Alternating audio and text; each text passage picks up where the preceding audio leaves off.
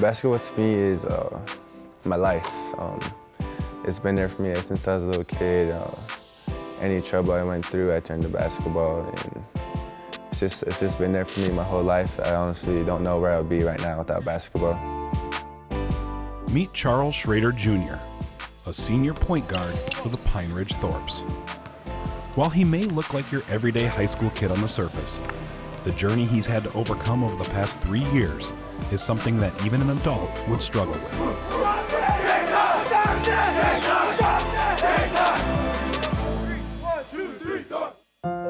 All of my kids are good basketball players, every single one of them.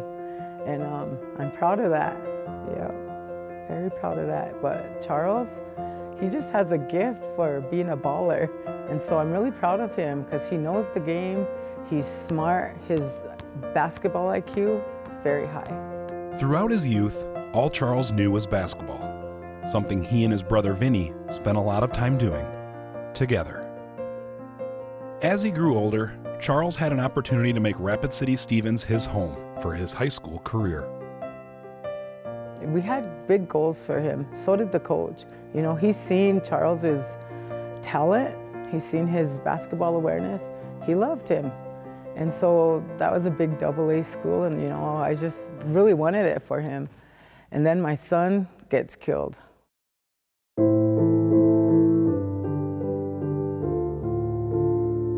In October of 2016, a little over a month away from the start of his freshman basketball season, Charles' brother Vinny was shot and killed right outside of the SuAnne Big Crow Recreation Center in Pine Ridge. Well, first of all, you know, me and my brother, we are just now getting like really close.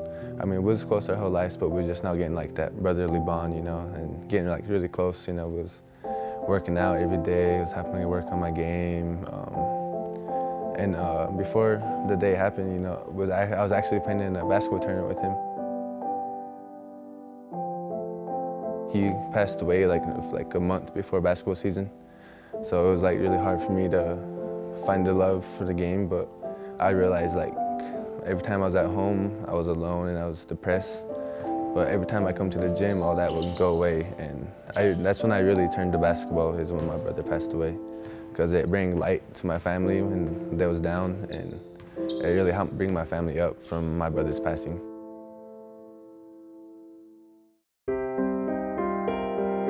The death of Charles' brother Vinny altered his plans for high school. He would no longer be attending and playing basketball for Stevens in Rapid City. His plan now was to play for Pine Ridge. As a freshman, Charles worked his way up to the starting lineup. I actually didn't get a start until after Allen and I, we played Winnebago. And then I got my shot with like eight minutes to go left in the game, and I came in and I scored like 14 straight. And then the next day, and for the third place game, um, my coach told me I was starting. They trusted me, um, take care of the ball, you know, and I knew I had my brother watching over me, so I knew I was going to be good. After a successful opening season with the Thorpes, Charles was poised for an even bigger sophomore season. But again, life had other plans. An awkward landing during a day of shooting hoops at Open Gym resulted in an avulsion of Charles' patella tendon, a serious season ending knee injury that would end his 10th grade year before it even began. When I got hurt, um, it just like all hit me at once. Like one time, you know, the passing of my brother and not playing that year, and it's just it just all hit me at once. And I was in depression for a while. As fate would have it, Charles would once again find his love for the game. With help from his cousin Casey, who had coached Pine Ridge in the past, Charles was rehabbing his knee to get back on the court. At the same time, Casey would reclaim his role as the team's head coach. Everything happens for a reason. It's Tunkasila's plan, you know, so whatever he does, you know, you try to learn from it, turn it into a positive. That's kind of how Charles' life goes. goes basically like that. He follows Takashi's plan. Takes what cards he's dealt and, you know, handles it and keeps fighting. I believe he's the best player in the state, and I've said this multiple times. Go to the rim.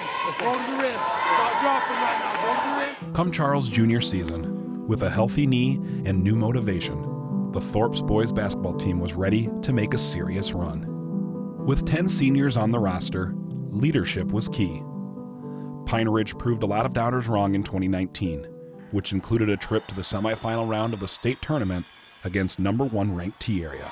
I think this could be a high flying, exciting, fast paced game. Ball team of Schrader fires a three, and it's good.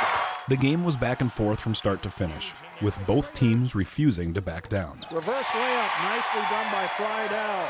In a game that went down to the wire, Pine Ridge came up short.